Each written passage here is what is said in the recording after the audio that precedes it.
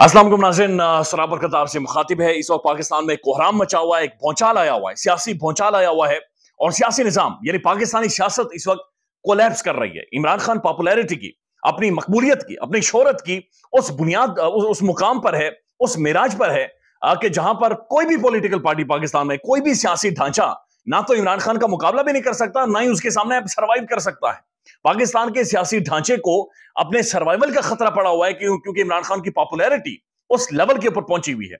दो आपको वीडियोस दिखाते हैं। पहले ये तहरीक इंसाफ की वीडियो देख लें। आज एक तो हफिजाबाद में नून लीग का जलसा था। एक तहरीक इंसाफ का भी जलसा था। अब पहले सताइस सेकंड की वीडियो देख लें। इस वीडियो के बाद आपको खुद ही अंदाज़ा होगा कि लोगों का चार्ज क्राउड क्या है, लोग क्या कह रहे हैं। इस आवाज़ को महसूस करें, इन नारू को महसूस करें, इस जोश को महसूस करें, इस डिसिप्लिन को महसूस करें। पहले ये वीडियो देख लें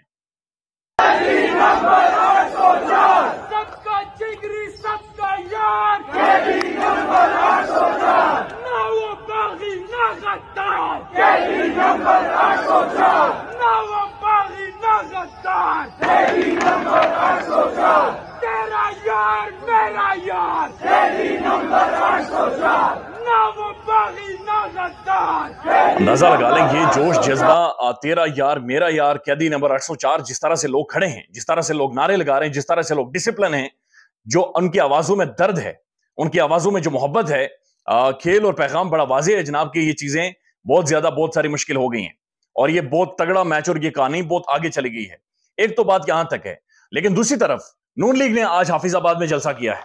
हाफिजाबाद में नून लीग ने भी बड़ा जलसा किया। उसके ऊपर पाकिस्तान के टेलीविज़न के ऊपर पाकिस्तान के सोशल मीडिया के ऊपर चीखो पुकार है। ये लोग रो रहे हैं। आ, रोने से मुरादिया की चीख रहे हैं उनके गले फट रहे हैं। ये नून लीग का क्राउड है। ये नून लीग की हिमायती हैं। ये नून लीग की बोलने वाली आवाज़ें हैं। वो भी आज सोच रहे हैं हुआ क्या है? हाफिजाबाद में असल में उनके साथ हुआ क्या है? एक तो बंदा कोई नहीं आया। लेकिन जो बंदे आए उनसे डर ये था कि कहीं इमरान खान के नारे ना लग जाए। मुस्लिम लीग नून को अब जलसा करने में सबसे बड़ा मसला ये होता है कि क्राउड जमा होगा।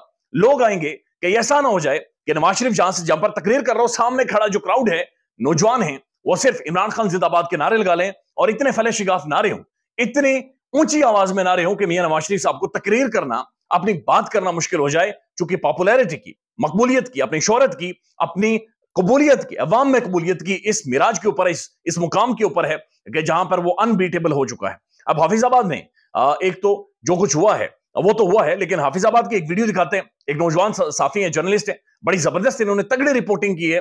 अवाम के अंदर गए और उस गेट के ऊपर खड़े हुए हैं जहाँ से अवाम बाहर आ रही थी। माइक देकर मुँह के सामने रखा और उन्होंने पूछा कि वोट किसको देंगे? जलसे में तो नून लिख के आए वोट किसको देंगे?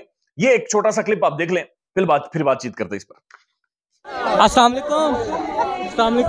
जी। कैसे हैं जी ठीक ठाक। मरियम साहिबा खिताब कर रही हैं आप घर को जा रहे हैं। कर दी रहे खिताब। वोट किसे देंगे? वोट पीटीआई नु पीटीआई अस्सलाम वालेकुम हाँ जी सर मरियम साहब खिताब कर रही आप घर को जा रहे हैं बस बड़ा हो गया क्या इन्हें क्यों? देखा, इन्हें देखना देख लिया बस वोट किसे देंगे खान का खान का तो इधर क्या ये सारे खान के पीटीआई का वोट पीटीआई मरियम नवाज़ खिताब कर आप बस हम चले हैं वोट पीटीआई अस्सलाम वालेकुम आप आप किसे वोट देंगे इंशाल्लाह कैदी नंबर 804 का वोट है अब आप अंदाज़ा लगा लें कि नून लीग के अपने जलसे में वहाँ पर मौजूद होते हुए तकरीर करने के बावजूद नवाज़ शरीफ साहबा, मरीम साहबा, बिरयानियाँ, रोटियाँ, घी, सब कुछ तमाम तर स्पोर्ट, तमाम तर रियासती मशीनरी का इस्तेमाल करते हुए, पैसे का इस्तेमाल करते हुए, गाड़ियों का इस्तेमाल करते हुए फ्यूल देते देने के बावजूद, एक पूरा माहौल बनाने के बावजूद गाने हर तरह की कोशिश की, ये म्यूज़िक बजाया गया, उसके बावजूद लोग ये कह रहे हैं कि कैदी नंबर 804 को वोट देंगे। पाकिस्तान के ये आम लोग हैं। पाकिस्तान के आम लोग डिसाइड कर चुके हैं। पाकिस्तान के अंदर बहुत सारे लोग अभी भी ये सोच रहे हैं कि इमरान खान का प्लान सी क्या है। खान साहब ये कह रहे हैं कि वो प्लान सी जो है, वो मैं आठ फरवरी को आपको बताऊँगा प्लान सी क्या है। लेकिन जो महसूस हो रहा है, जो रोड के ऊपर महसूस हो रहा है, जो पाकिस्तान के अंदर नज़र आ रहा है, जो जो चीज़ें दिख रही हैं, ऐसा महसूस हो रहा है कि प्लान बी के बाद जो इमरान खान का जो प्लान सी है वो इस वक्त एक्टिवेट हो चुका है। प्लान सी इस वक्त खान का काम कर रहा है। अब प्लान सी क्या था? प्लान सी यही हो सके, बल्ला आपसे छीन लिया गया। पार्टी आपको तोड़ दी गई। आपके जो कैंडिडेट्स हैं, उन्हें एक मुजाहिका खेज तो ही अमेज जो सारे सिंबल्स हैं, वो भी अलाउड कर दिए गए। फिर प्लान सी क्या? What is the plan C आप क्या कर सकते हैं? आप जेल के अंदर है, आप बंद है। आप कुछ नहीं कर सकते, आपके हाथ बंधे हुए हैं, आपकी आवाज़ बाहर नहीं आ सकती, आप पार्टी के साथ कम्युनिकेट नहीं कर सकते। तो लोग वही पूछ रहे हैं कि खान साहब, आपका प्लान सी फिर क्या है? फिर आप कैसे प्लान सी किसी भी तरह से एप्लीकेबल पाकिस्तान के अंदर कर सकते हैं। प्लान सी ये है जो नज़र आ रहा है इस वक्त सड़क के ऊपर, कि पाकिस्तान के अंदर दही देने वाला, अखबार देने वाला, पाकिस्तान के अंदर खाक रोप सड़कें साफ़ करने वाला, पाकिस्तान का ड्राइवर, पाकिस्तान का मौलवी, पाकिस्तान का दुकानदार, तमाम तर लोग अब हरकत में आ गए हैं। पाकिस्तान का आम आदमी उठ गया है। पाकिस्तान की आम आवाम उठ गई है। पाकिस्तान का एक आम शहरी, एक आम स्टूडेंट एक कॉलेज गोइंग स्टूडेंट जो कॉलेज में भी शायद डंडी मारता है, लेकिन आज वो तहरीक इंसाफ का झंडा लेकर, अपने कैंडिडेट का सिंबल लेकर, हर हर घर के अंदर पहुँच रहा है। आज पाकिस्तान में हर जगह पर आपको इमरान खान खड़ा नज़र आता है। ये प्लान सी है। ये प्लान सी है जो आपको सड़क के ऊपर नज़र आता है। प्लान सी उसका यही था कि प्लान ए है, मैं लड़ जाऊँगा, मैं भिड़ जाऊँगा, मैं पड़ जाऊँगा इन्हें।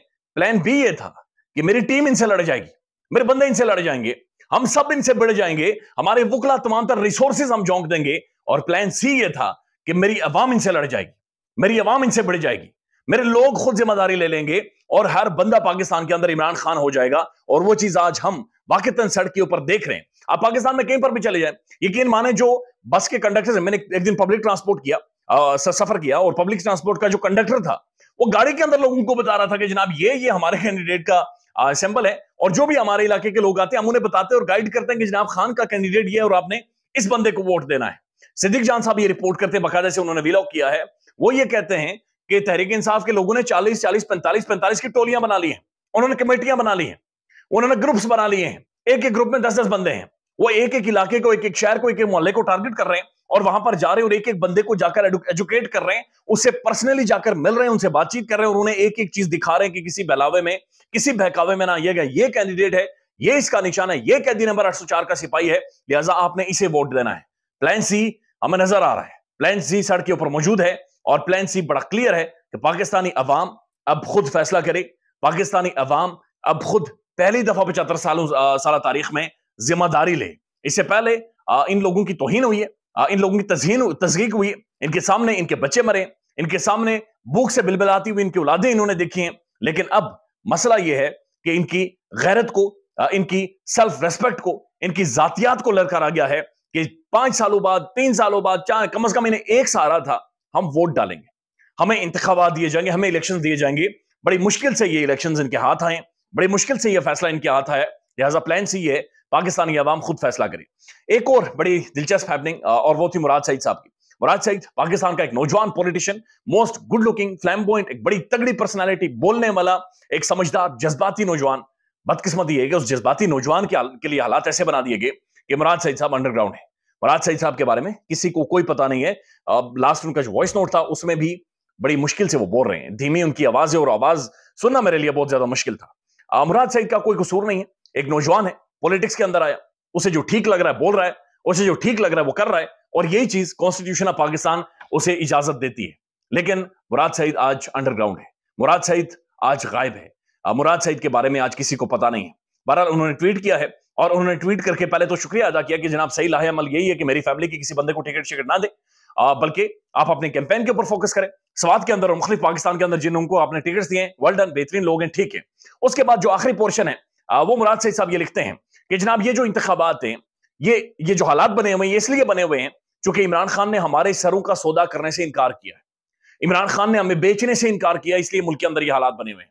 उन्होंने कहा कि आज मैं अंडरग्राउंड हूँ तो उसकी बुनियादी वजह यह है कि मेरे इलाके में, मेरे मोहल्ले में मेरी साइड पर जो एक तकरीबकारी की लहर आ रही थी, मैंने उसे मानने से इनकार कर दिया और मैं लोगों को बाहर निकाला, जिसकी वजह से मेरे लिए भी हालात खराब हुए और मुझे भी थ्रेट है और मैं भी गायब और आज सईद एक नौजवान है, गुमनाम है, लेकिन वहाँ से होकर भी अपनी पैगाम पहुँचा रहा अपनी आवाज़ पहुँचा रहा है। ये मज़ाक नहीं है। जब आपकी जान को खतरा हो, ये मज़ाक नहीं है, ये शुगल नहीं है। ये सिर्फ़ पॉलिटिक्स नहीं है, ये कॉज है, ये एक मकसद है, जिसके लिए नौजवान गायब है, ये नौजवान सारे अंडरग्राउंड हैं। अब बहुत सारे साफी ये भी रिपोर्ट कर रहे हैं। बल्कि डिस्कस हो रहा है पाकिस्तान के मीडिया पर, तारिक मदीन साहब ने तो बाकायदा इसके ऊपर एक विलॉग किया है और डिस्कशन लार्जली चल रही है पाकिस्तान के सोशल मीडिया पर। जुबैर साहब, जो कि जर्नलिस्ट है, उन्होंने भी इसे, इस पर ट्वीट किया है कि खान साहब के ऊपर एक बाकायदा से एक गवाह है जो कि उनके अपने हैं प्रिंसिपल सेक्रेटरी आज़म खान साहब। उन्होंने इमरान खान के खिलाफ आज एक बहरहाल गवाही दे दी है। साइफर वाला मामला है, इसमें अगर खान को सजा होती है तो उम्र कैद की सजा होगी खान को या फिर फांसी की सजा होगी। तो सारे इशारा कर रहे हैं कि हालात बड़े तशवीशनाक है। यानी शुगल शगल में ऊपर नीचे करके आगे पीछे करके कुछ अदालत ये रिलीफ दे देती है फिर अदालत उधर से मामला को मैनेज कर लेती है लेकिन ये मामला बड़ा संगीन होता जा रहा है।